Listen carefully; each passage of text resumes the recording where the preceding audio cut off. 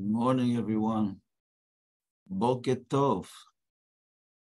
Good Boker morning. Tov, Boker Tov. Good morning, can you hear me?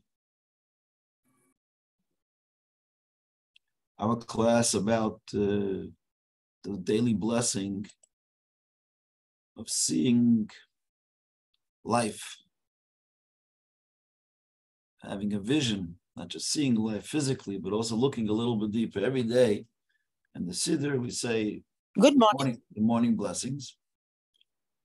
And one of the blessings is we we say, Blessed are you, God, King of the universe, Pokeach Ivrim, he who uh, heals the blind, he who uh, gives vision to, the, to those that are blind. So the simple meaning of the blessing is in the morning you wake up, your, your eyes are closed all night long, you're not seeing, so you're a little bit like on the blind side. Then you wake up in the morning, you say, Baruch Hashem, Baruch atah Hashem Elokeinu melech haolam pokeach ivrim. He who gives vision to ivrim to those that are that, that can't see. Yeah, it's an important bracha. But we spoke last week. We start, touched on it, and we said that there's the simple meaning of the blessing, and just like the first blessing that we spoke last week about the rooster that we thank God for giving the rooster the understanding to know the difference between day and night. We said that blessing is also a blessing for ourselves to know the difference between good and bad, between morally right things and making good decisions in life. The second blessing is, is, is connected to it on a deeper level. We're thanking Hashem and we're giving him a blessing. We're saying, Hashem, please give us the ability to see things. Okay, we say see things. It's interesting. This week's portion, Torah portion, what's the name of this week's parsha? It's parsha Ra'eh. Ra'eh, look. To see is not just looking, but seeing, seeing things on a deeper level. You know, one of the prohibitions that we read about in the Shema, it says, "You shall not look after your heart and after your eyes." Do not stray after them. Sasuru. Sasuru. In the, in the modern Hebrew, v'lo.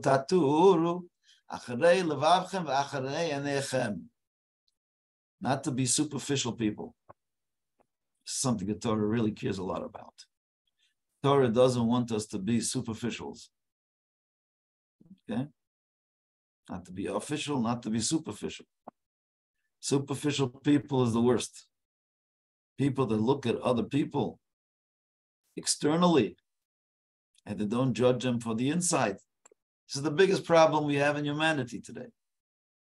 When we judge people by social media, we judge them by the news, we judge them by the external package that God gave them, and we don't give them even a chance to prove themselves who they are on the inside, right? First thing you have to do is Ask Hashem to open your eyes, give you self vision, vision, seeing the world, seeing the world, the universe, the right, right thing, and how we view other people, how we view what's going on.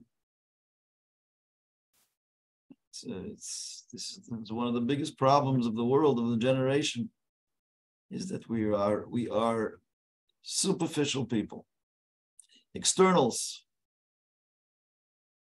marriages break up because people are too much into externalities. Everybody everybody today it's all how you present yourself. It's how you look you know. A lot of a lot of marriages unfortunately break up because people are judging others by the external qualities. As king solomon says shekrachen hayoifi charm is deceitful and beauty is a lie. Isha Yiras Hashem, Hitis Halal of God fearing woman. This is what should be judged by. God was God fearing woman mean? Doesn't mean that she sits and fears in her, you know, sits a whole day and she's fearing God. God fearing is a deeper thing. A God fearing person is a person that's ethical, it's moral, strong inner qualities, my friends. That's what we're looking for. That should be praised. So we have to make like a paradigm shift in life to look at things in a different, different way.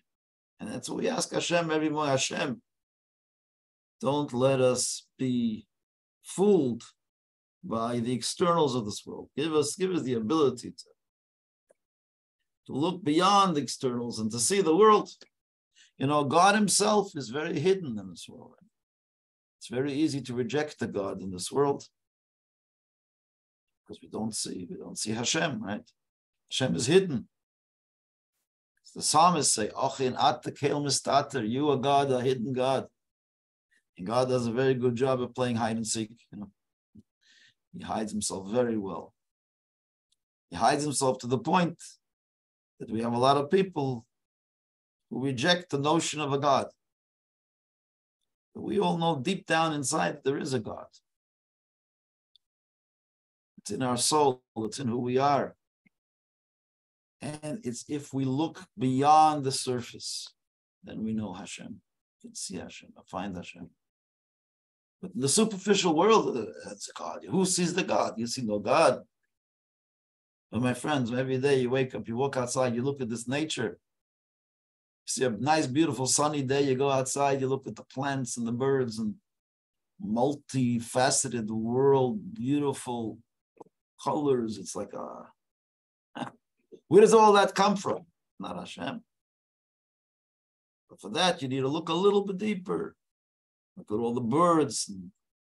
Every there's no two people alike in the world, and no two birds alike. There's, every creature is different. You look outside, you see Marabu Masecha Hashem, how multi diverse is your creations, O God. Magodlu Masech Hashem, how great are your creations. So you look a little deeper to the surface, you find Hashem. For that, you need to have good vision. You need, you need, I say, you need spakulin, you need the glasses.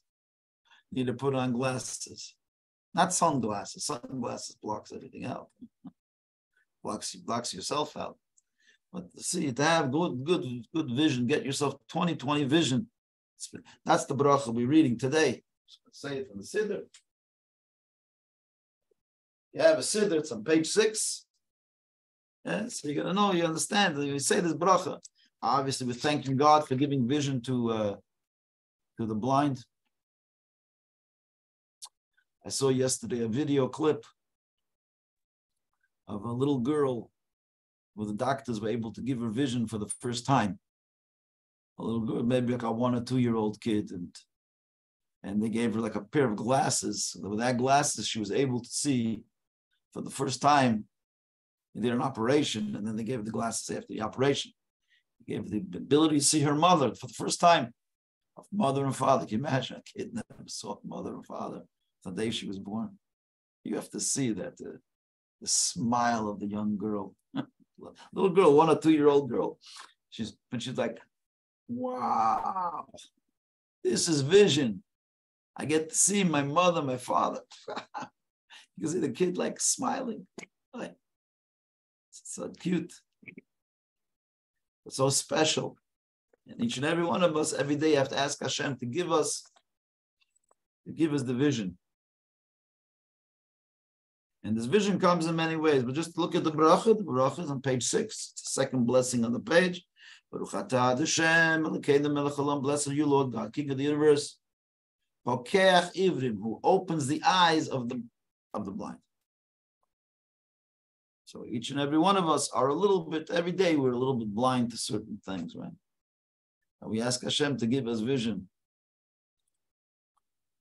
Blind can also mean being judgmental of other people. Many of us are judgmental. We're always jumping to conclusions about people. Never judge a person until you're in their shoes, until you're in their circumstance. People are fast right away call a judgment without knowing all the facts, without hearing both sides of the story. That's also a blindness, blindness to the truth.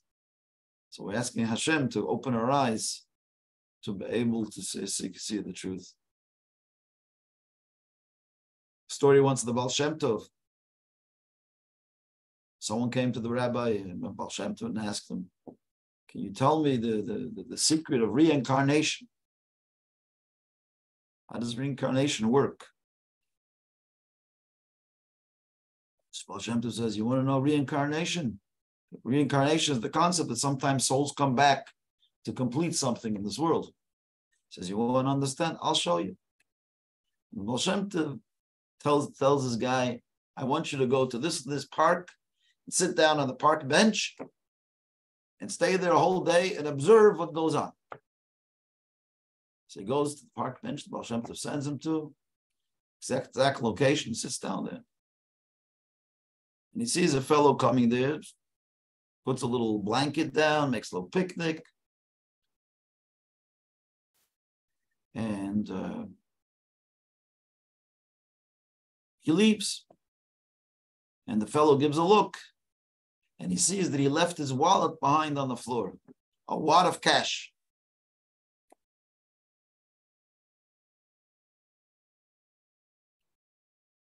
Then uh, he goes away. A second guy comes over and he sits down over there, also makes a picnic.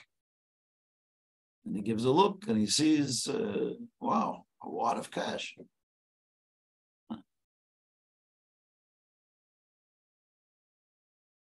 And he picks up the money.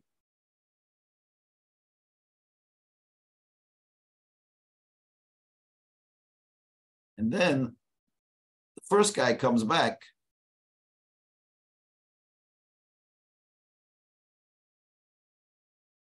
and sorry, then a third guy comes. So third guy comes. A third guy comes, and he sits down at the same place. This guy's watching it the whole time. This whole story, right? So first guy comes, leave the cash. Second guy comes, takes the cash, and then the third guy comes and sits down. The first guy comes back, and he sees the third guy sitting there. He says, "Where's my money? I left my cash here, my wallet." He says, "I don't, I don't have it." Next thing you know, the first guy is beating the, the third guy, beating him up. And he runs away. They all run away. Story ends. He comes back to Baal and he asks Baal what, what, what are you showing me? It's crazy story. One guy leaves the money, another guy picks it up, a third guy comes and gets beaten up. What's all about? He says, You asked me to explain you reincarnation. So I'm explaining it to you. He says, Three people you saw many, many years ago, but a few hundred years ago, there was uh, two people that came to the rabbi's office. One accused the other of uh, it's some partners. They were fighting over a couple hundred dollars, and uh, rabbi was about to say the verdict. Who, because he heard all the facts, was about to give the right guy the money Suddenly, one of the guys calls the rabbi out and outside and slips him a twenty dollar bill. and the rabbi made the verdict in favor of that guy, even though he was he was he was really the loser. But he changed the whole thing and gave it to the wrong guy. Corrupt rabbis never happens in the history of the world, but this guy was a little corrupt. So Baal says, all those three souls had to come back down to the world again to finish up what they had. The guy that wrongly took the money, the crook in the, in the story, wrongly took got the, the reward of the few hundred dollars. Right? He had to lose the money. So he lost his, his wallet. He had to lose the money because he, he had this money he's taken wrongly. The second guy that came to found the money and went away with it, that's the guy who a few hundred years earlier lost the money in the court case. Right? So Hashem gave him back the money. And the third guy who got beaten up, you know who he was? He was the rabbi. he came, he got beaten up. That was the rabbi because he deserved to get beaten up. so that's the Baal Shem Tov story. So everything. Now, so the reason I'm telling you this story is if you that guy was sitting there watching this whole story unfold, had no idea. One guy's losing money, another guy's finding money, another guy's being accused wrongly. We know nothing. You have to know the story behind the story. There's always a story behind the story. So that's the story of reincarnation. So we ask Hashem to, to give us a little bit. Hashem gave the fellow, he gave him a little bit of a vision, and then everything made sense. But we look, we see a lot of stories. It's, it doesn't make sense. Once a little child was sitting with the Bobby, and Bobby was making a beautiful tapestry. And the child, the grandchild, was looking at the, the, the, grandmother and saying, "What's going on over here? I see all I see is a bunch of strings coming out of your tapestry this way." Ah, the grandmother laughs. She turns the tapestry around so the so the grandson can see it, and she says, "Here's a beautiful picture. You were looking at the back. At the back, all you see is little strings and pieces that make no sense. You see the picture, everything makes sense. Same thing is with us." A lot of things in life we don't understand. So we ask Hashem to give us the wisdom to be able to understand things. From time to time, we get a little bit of a picture. Hashem gives us a little bit of a of a of a uh, when the world to come, when we come, when Mashiach comes, or when we come up to heaven, over there we'll have a better understanding. But here in this world, we're asking Hashem also to give us the understanding, like the Baal Shem Tov gave that guy understanding.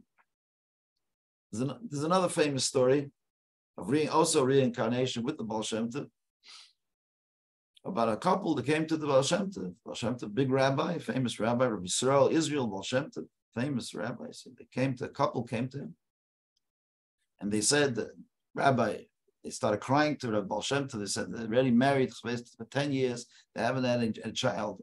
Please, all the doctors already wrote her off. She said, they said, the mother, the wife can't have children. It's impossible.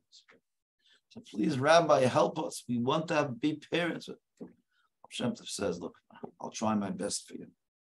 Davened and he davened, prayed for them, and Baruch Hashem, miraculously, nine months later, they had a child.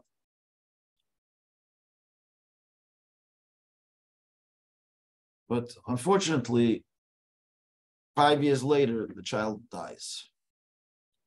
They come back to the Baal They say, Rabbi, you gave us a little bit of joy for a little while, but it's terrible, tragic. We started loving this child so much, and then the child dies on us. It's the most tragic possible. Lose a child. Rabbi, what's going on? Rabbi says, oh, well, let me explain to you. I guess the Baal knew a lot of things.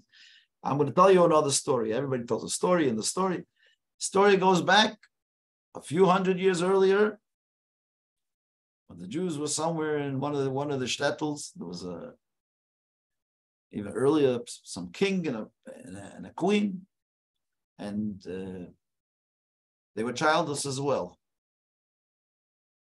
And of course, when when people don't have something or they need something, they always come to the Jews. So the queen and the king they came to the Jews and they said, Jews, our Jews our subjects you need to pray for us to have a child.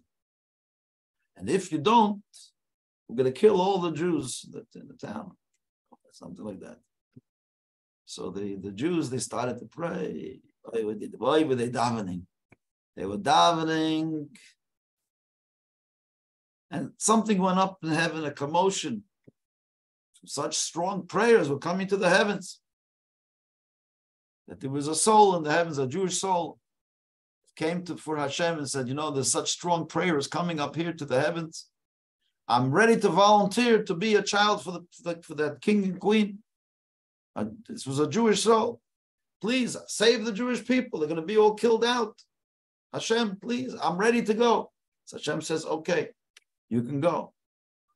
And he sent down this Jewish soul to the king and the queen and they had this baby, and then they stopped persecuting the Jews, and everybody lived happily ever after, but not yet. The story is not over. A few years later, child grows up in the house of the king and the queen. Gentile king and queen, but you know, life, a little wicked.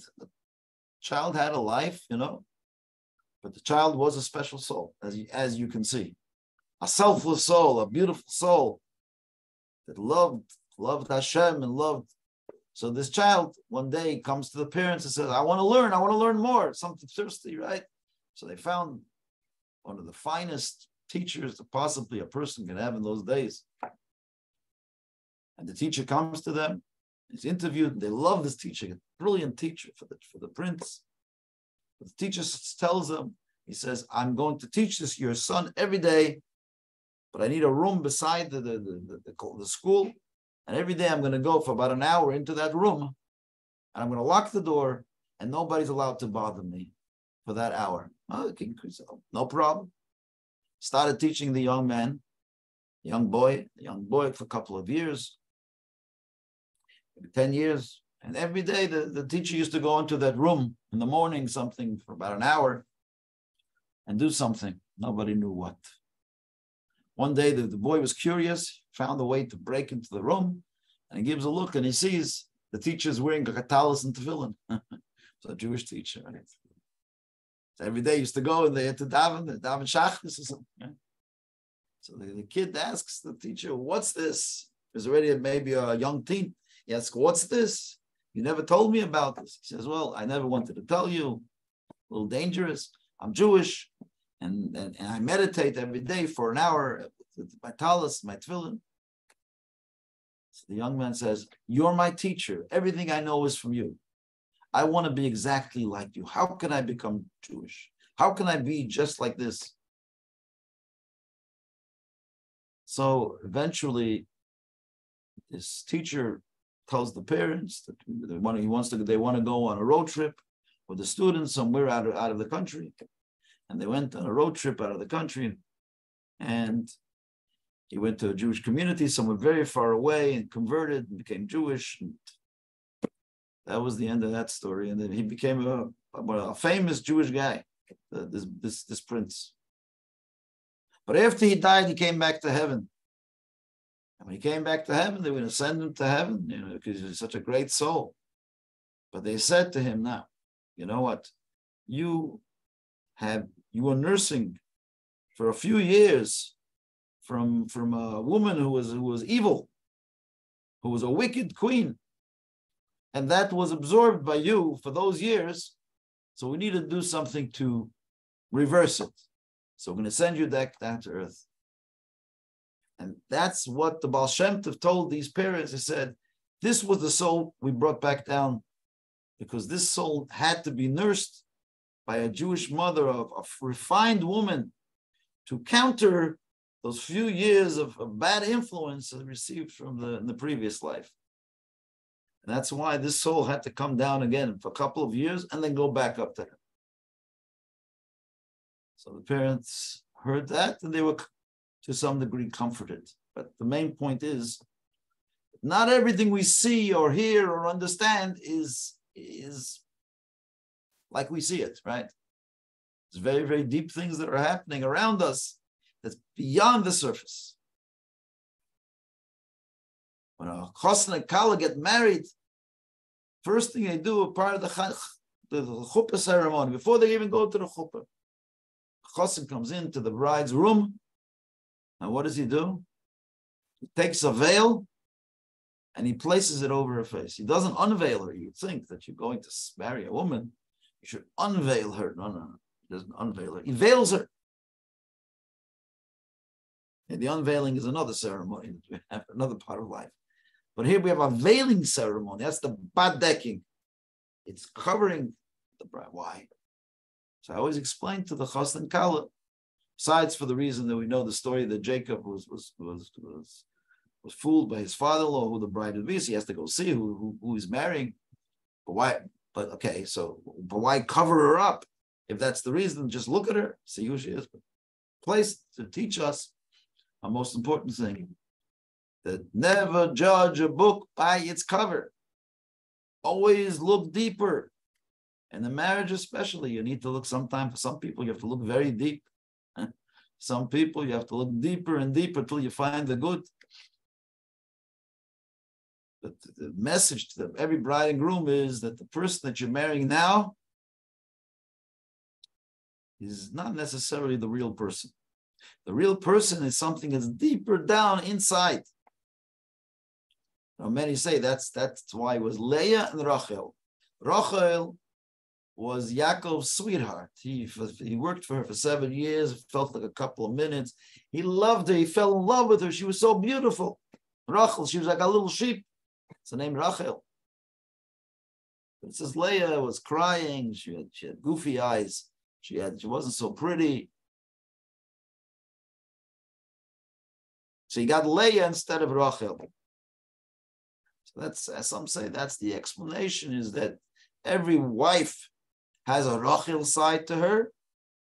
Rachel is the beautiful side, and Leah is the partner. Leah is the one who has the children. Leah is the one that works hard.